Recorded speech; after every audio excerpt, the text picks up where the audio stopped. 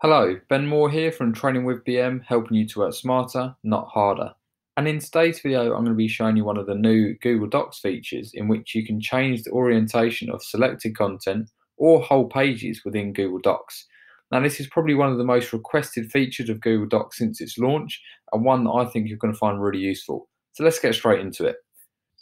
So now we can change the page orientation in Google Docs. We can now have a document that consists of both portrait and landscape pages. And that's particularly useful for things like schemes of work, collaborative working with students, amongst many other things as well.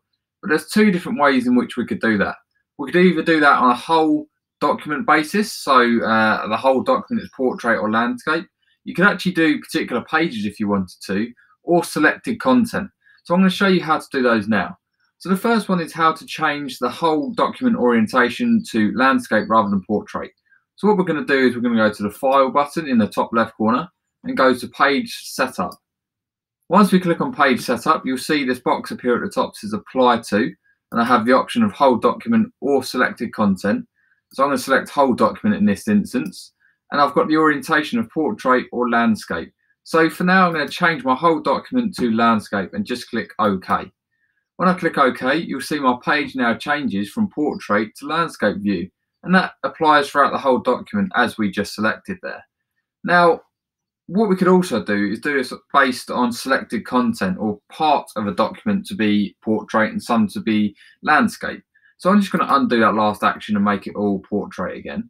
But what I'm going to do now is I'm going to select all the content within this table and make the table on a landscape page. The reason I do that is because uh, tables just generally look better on a landscape page. It has a little bit more room for uh, adjusting the size of the boxes. So that's what I think will be really useful in this instance. So I'm just going to highlight all the information within this table here. And then I'm going to right click on my mouse and I'll see the option to change page to landscape with the blue new button there as well.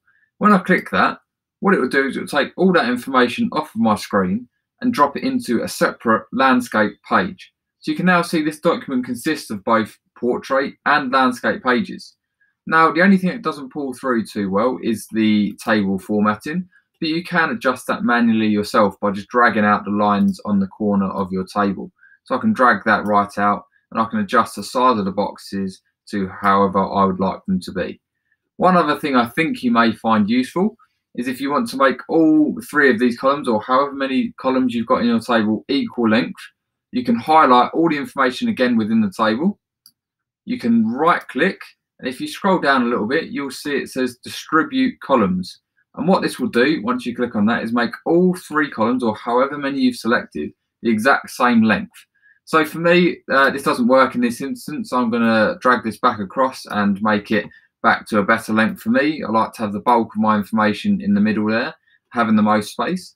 But what you also see is by putting this table now on a landscape page, I've ended up clearing a spare page at the bottom. So it actually saves space in your document as well. So I'm just going to backspace on that page to delete the spare content. So hopefully you're going to find this really useful. Uh, it's definitely one of the things that I've enjoyed most about Google Docs so far. It's, it's going to be a blessing to a lot of teachers and education staff across the world. Um, please like and subscribe to my channel. I really appreciate your input. I'm going to drop all my social media channels below in the description. Uh, make sure to turn on those notifications so you don't miss anything, and I'll see you in the next video. Take care.